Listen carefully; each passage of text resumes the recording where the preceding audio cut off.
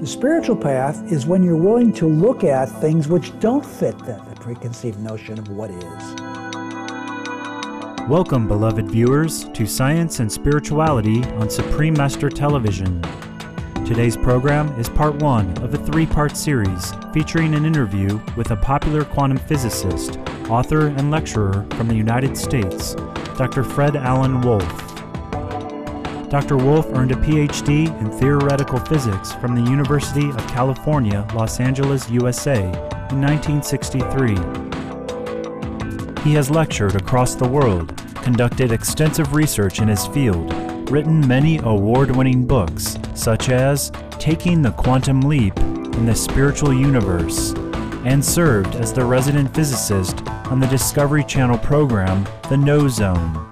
Dr. Wolf has appeared in popular films such as What the Bleep Do We Know and The Secret.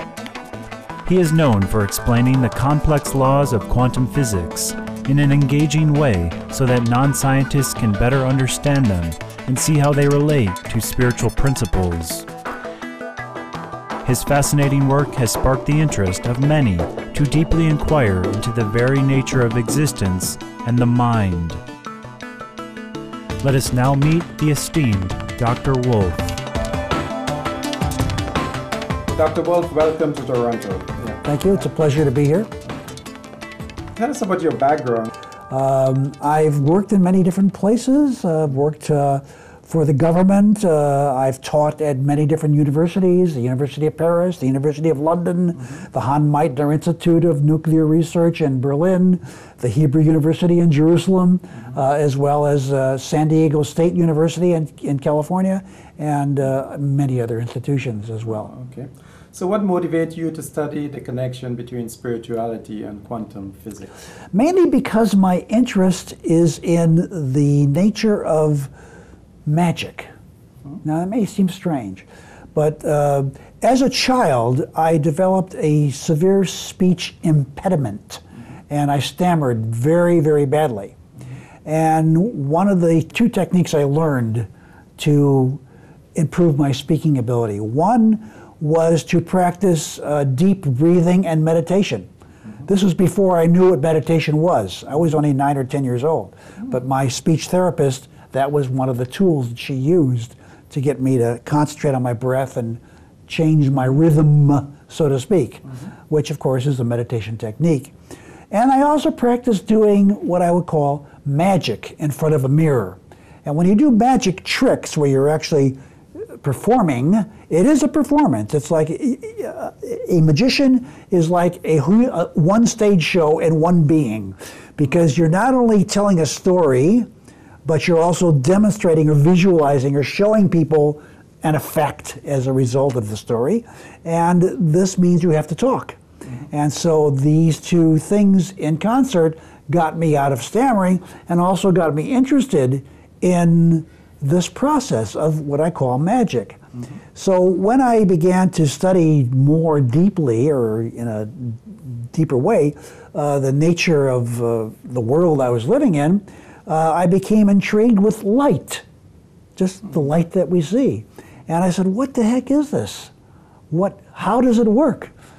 What is light? And that led me into what is anything? And that got me into studying physics. Mm-hmm. And um, that's what led me into uh, theoretical physics because I'm always interested in the, how do we understand what's happening.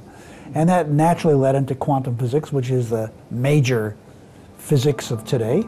And uh, that's what got me started.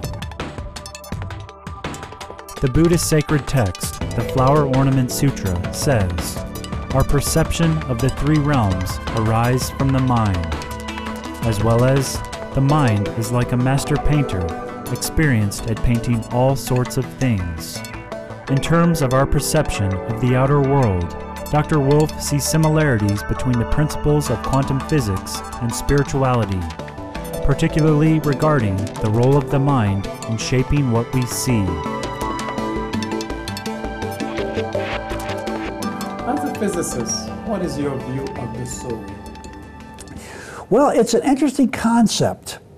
Uh, and of course, it's gone through a lot of change uh, based upon which culture you deal with.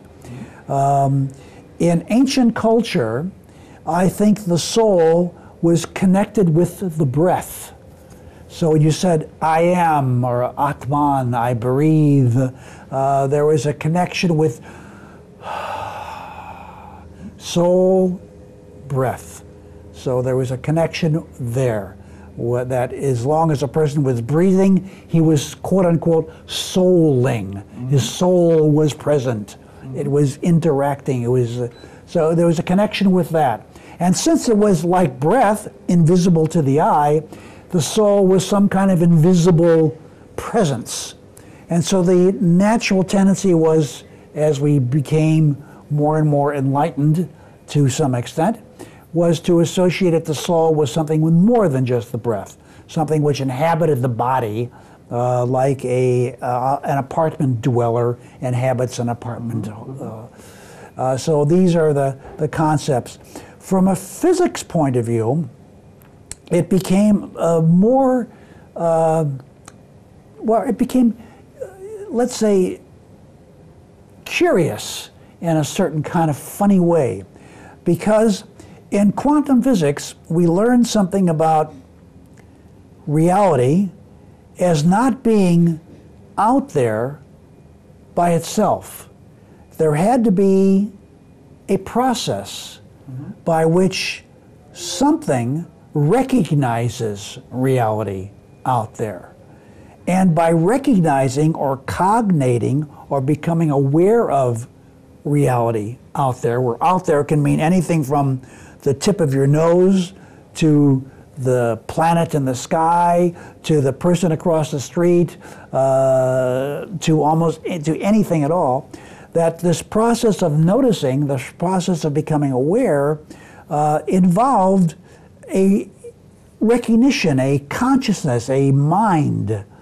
And that if the mind altered the way it went about this process of recognizing, cognating, looking at the out there, the experience would change in here. In quantum physics, we learned that as you began to delve deeply into that question of how what you bring to bear to observe interacts, affects, is in relation to the thing which you are observing, we began to realize that the thing that we are observing is not just something that is itself physically there, mm-hmm.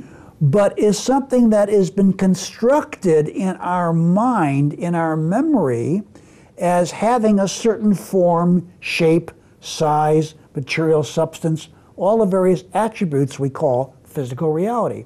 And that without these memorized concepts of these things that we see are out there, we would not be able to even construct a picture or a semblance of understanding of what's out there. In other words, there is no out there out there without an in here, in here acting.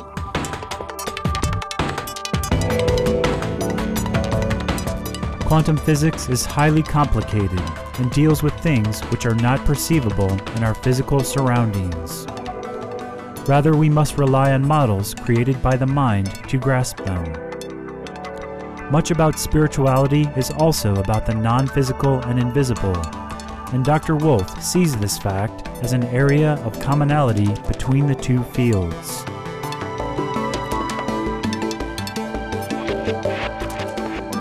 As you delve even deeper into things that are subatomic, that are subatomic or submicroscopic, things which we can't see with our naked eye, we find that the very things we're looking at themselves are fuzzy. They're not rigid.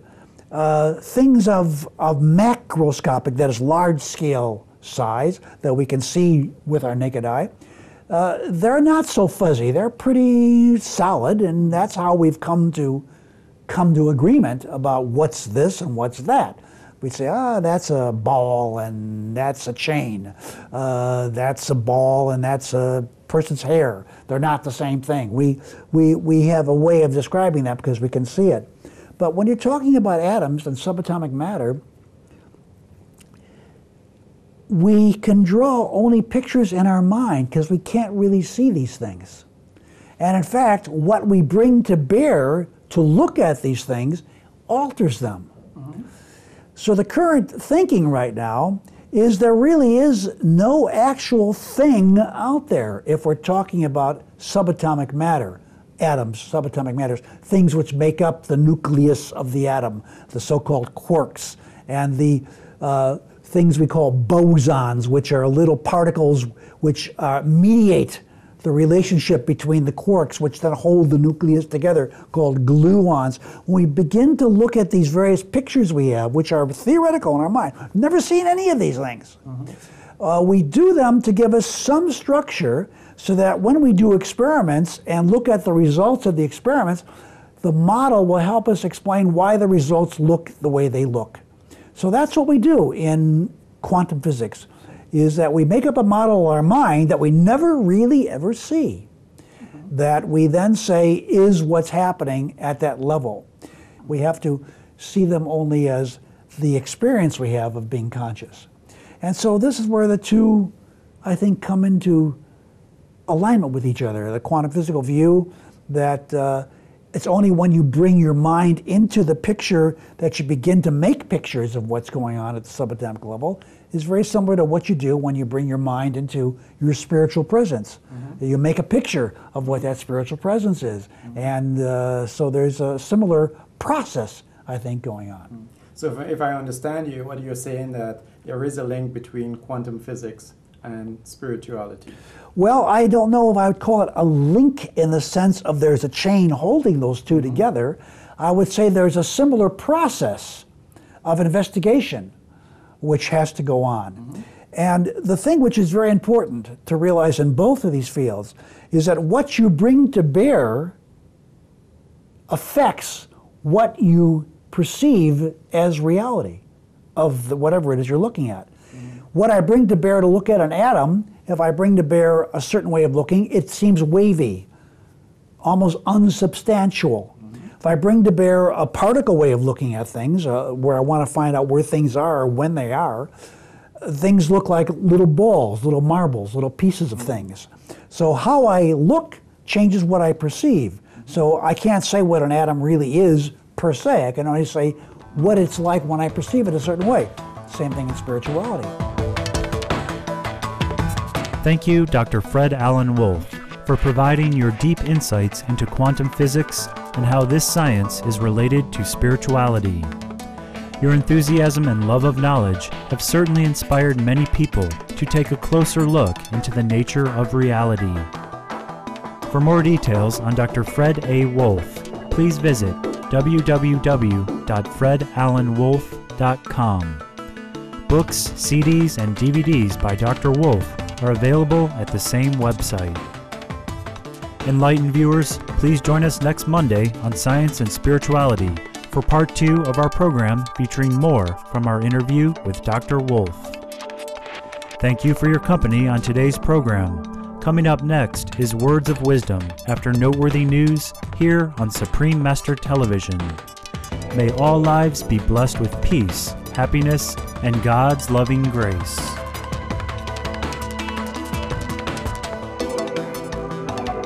For more details, please visit www.suprememastertv.com forward slash SS